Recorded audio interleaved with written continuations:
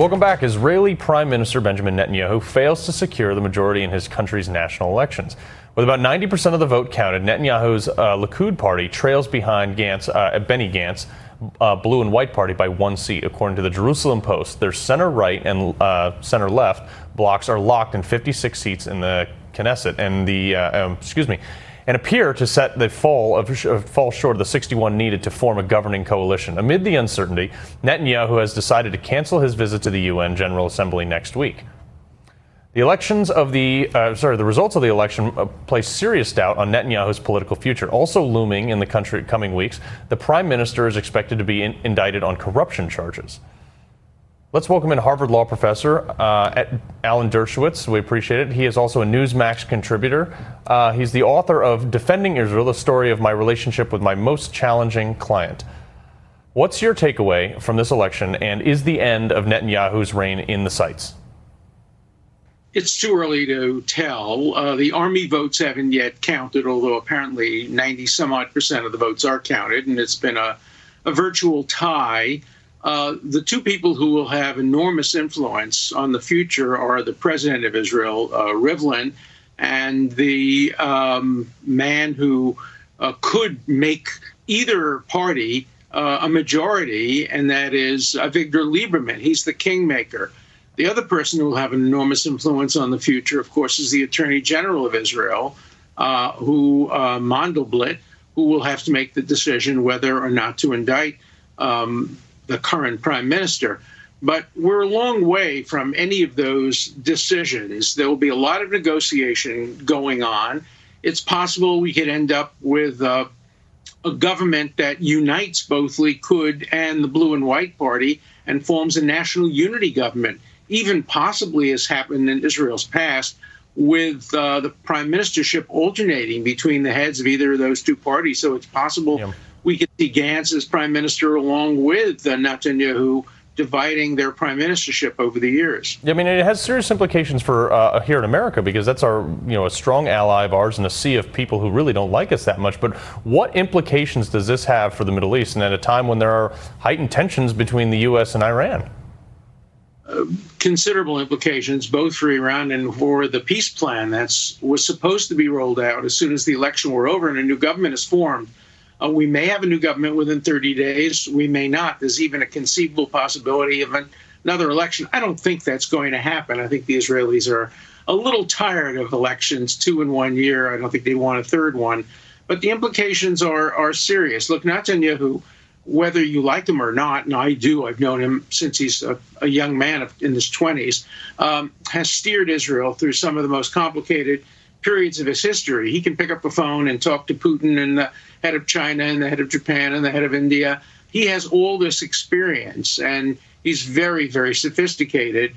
Uh, Gantz is a very good man, but he doesn't have the experience. And so there'll be a learning curve for any new prime minister. And Israel can't really afford much of a learning curve right. following uh, what it faces in Iran and other parts of the uh, the Middle East. You know, it's crazy that you know he worked with President Trump to move the uh, our embassy to Jerusalem, recognizing it as their capital uh, and recognizing it as a significant portion of their history and things like that. And, and it seems like people are almost angry about it.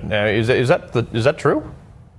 I don't think so. Remember when Winston Churchill helped the Brits uh, win the Second World War? How did they respond in the next election? They threw him out of office.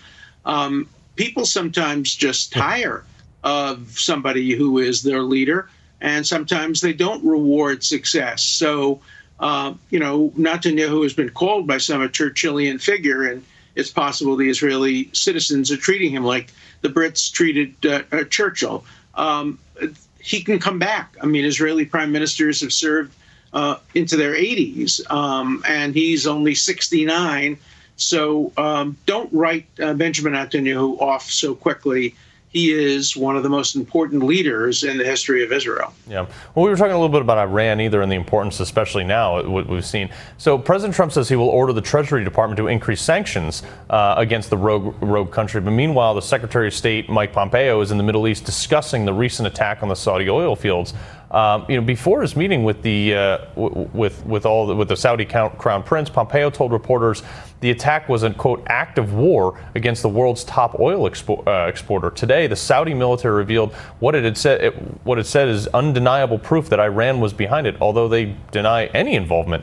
The Iranian-backed Houthi rebels also threatened Saudi uh, Saudi Arabia and the UAE with more attacks. Professor Dershowitz, was this the right move for Trump to call for more sanctions on Iran?